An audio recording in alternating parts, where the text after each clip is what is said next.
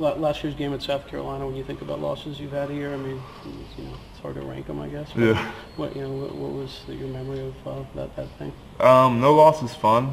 Um, that loss especially stung. Uh, that's a great atmosphere at that place, and they're ready to go. Um, they always have a tough, good defense that's ready to go, and they're going to have that this year as well. Um, I remember those rain delays last year, um, for sure.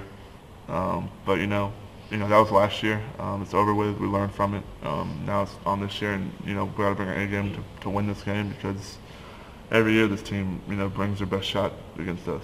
So we have to be ready to play them, and you know they're always ramped up and ready to go.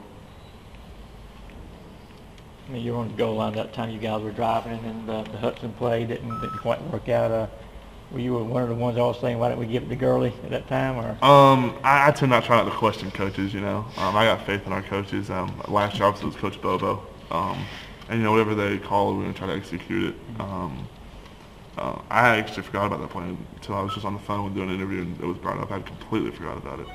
Um, but I mean, we live what the call and it's up to us to execute it. So I mean, that's what it comes down to.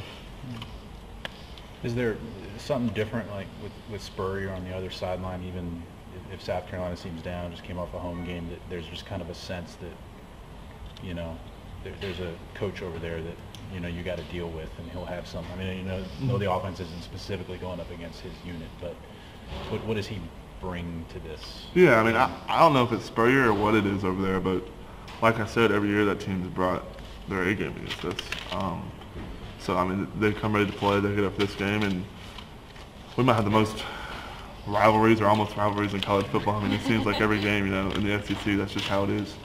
So, um, you know, whether it's Spurrier or the players themselves, whatever it is, but they get up for us, and we know that's how it's going to be. We know it's going to be a physical, tough game, and uh, we're going to have to be on top of our game. Is, it, is, is Georgia, South Carolina, like, is it rising above another rivalry boy, you, before you got here? I mean, I think- mean, no, I mean, no, but it seems like every week it's just like, you know, it's just one of those matchups where it's going to be tough, physical, um, kind of old school type of football, um, especially for our offense and the defenses that we face. Um, that's just how it's going to be. So, I it seems like each year, like they all get ramped up a little bit.